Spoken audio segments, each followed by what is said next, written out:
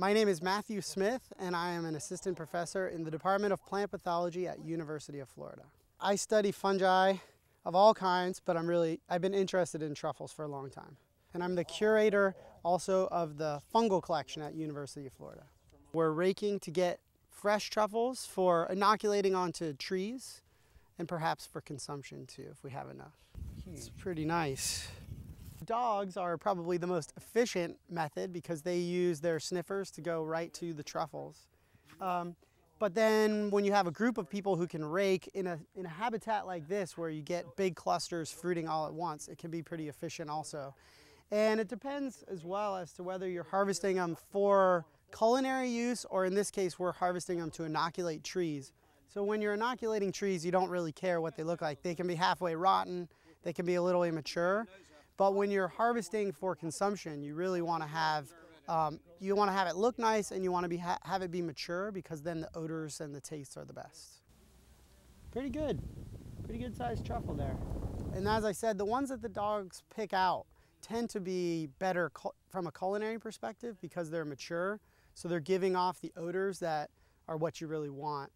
Um, you really, those odors are what people like to have on their pasta. So, so it's important when you're going to sell them that you want to be selling mature ones but not rotten ones. And you don't really want immature ones because they won't have as strong of a smell. They generally fruit um, either right below the litter layer or in the top, say, one or two inches of soil. There aren't very many that um, fruit really deep, but there are some that do that as well. No, it's a, it's a rock oh. that looks exactly the wrong size. That easily confused. False truffle. false truffle. Truffles in general, um, not just the genus tuber, but most truffles seem to be adapted for animal dispersal.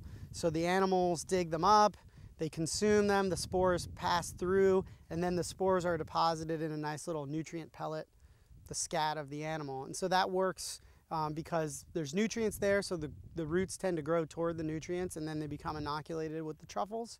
It's also effective because it's long distance dispersal, so sometimes animals can travel quite far and disperse a species to a new area. For example, we know that flying squirrels um, in general, where they've been studied, eat a lot of truffles when they're available, and then they may eat other foods when truffles aren't available.